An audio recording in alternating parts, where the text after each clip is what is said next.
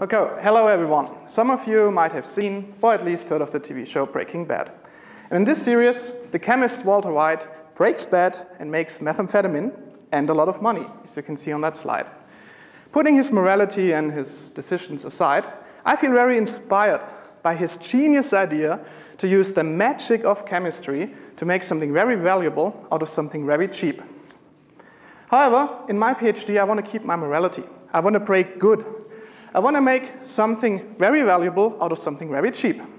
So I'm going to make something very profitable, but also helpful for society, medicine, out of something continuous, continuously produced by society and very cheap. That's waste. So how am I going to make medicine out of waste? For that, we have to understand that chemists nowadays came up with a lot of procedures to make medicine accessible for everyone. Some of these procedures are very elegant, but still very expensive to make. For instance, chemists came up with using helping molecules called auxiliaries. An auxiliary basically attaches itself to a starting molecule and helps to chemically transform it into the desired product. Once it's done its job, which was this chemical transformation, it releases the product, in our case the medicine, and can be reused in other processes.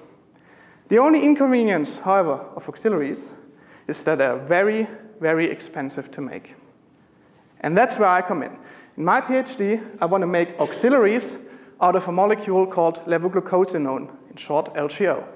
LGO is currently produced by our industrial partner Circa by the tons per week out of recyclable waste.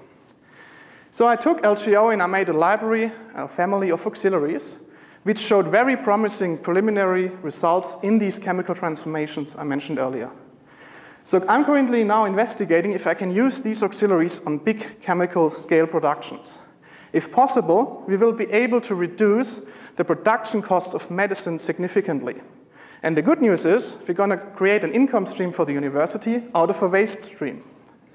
And remember, I'm going to make a molecule which will be recyclable out of recyclable material. So I'm going to create a double recycled cycle.